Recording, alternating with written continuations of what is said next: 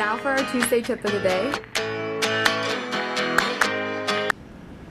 Okay, so recently we've been receiving a lot of questions regarding uh, scholarships and assistantships here at RIT, and if you've been an accepted student, you can hear directly from our Director of Graduate Admissions regarding um, the next steps you can take towards obtaining a graduate assistantship through your academic department.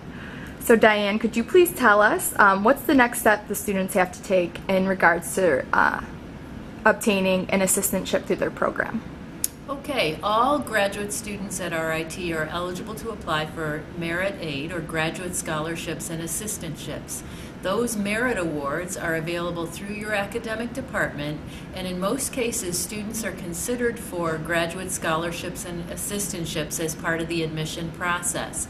So, all of the information that you've submitted with your application for admission will be used to determine if you're eligible, and the academic department will make that decision usually at the time of admission the amount that you might be eligible for and whether or not you receive awards is basically determined by the academic department. So every department is different depending on the funding resources that they have available, the quality of the students who are applying to that program, and the match between the research opportunities or the assistantship opportunities and the students who are applying. So in general, the process is competitive.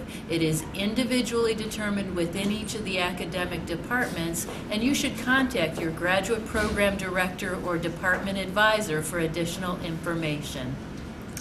Thank you very much and stay tuned to the next Tuesday tip of the day next week.